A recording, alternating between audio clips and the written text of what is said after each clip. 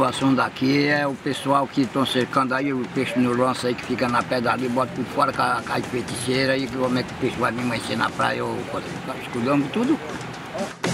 É que a gente vai embora dormir e o peixe que fica aqui na pedra, para nós ter o outro dia peixe para nós matar, o pessoal da, da população do município aí de Gancho Fora e de Gancho Meio vem tirar o peixe da pedra. A gente liga, liga para fiscalização e nada de vir. E tem gente querendo, pessoal da, daqui da nossa comunidade não está deixando a gente trabalhar direito.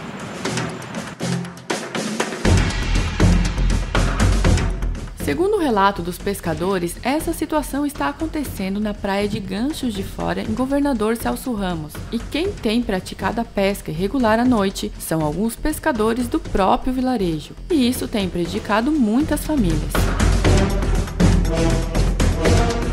Deixando de trabalhar é porque não estão deixando o peixe direito na pedra, né? Porque a gente deixa o peixinho na pedra para a gente matar no outro dia e não estão deixando. O que, que eles estão fazendo de irregular? Estão largando a rede de malha, né? De feiticeiro. E, e tá, tá, tá muita gente. Muito pai de família está ficando triste com isso.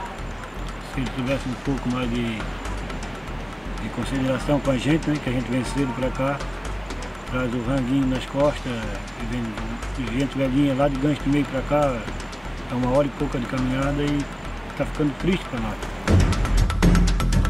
Entre todos os problemas causados pelo uso dessa rede, está também o aparecimento de muitas tartarugas mortas na praia. E isso tem causado uma preocupação muito grande por aqui. Semana passada um cercou ali, matou 500, o outro chegou na frente do outro, matou, matou 200 e pouco, bota o peixe de fora, o peixe aqui vende que não chega da praia, deixasse o peixe, não, não botasse a rede fora, não cercasse. Tem a rede feiticeira, eles só querem para ir, a gente também quer trabalhar aqui, ó. Ao analisar as imagens que a nossa equipe forneceu para a Polícia Militar Ambiental, o fiscal de pesca Joel Braz pôde constatar algumas irregularidades. Esse tipo de petrecho é proibido a utilização durante a safra da tarrinha, ou seja, o farol manual. É, além desse farol manual, também é proibida a colocação de qualquer tipo de rede de malhar a menos de 300 metros do costão e a 1.852 metros da praia. É, já estamos fazendo fiscalização, é, até inclusive hoje à tarde a gente vai fazer uma operação lá. A Polícia Militar Ambiental está fiscalizando dioturnamente? Mas é um grande número de denúncias né? e a gente está fazendo o máximo para que a gente possa atender todas as demandas. E se a gente encontrar qualquer irregularidade nesse sentido, a guarnição vai tomar todas as providências cabíveis dentro da legislação vigente.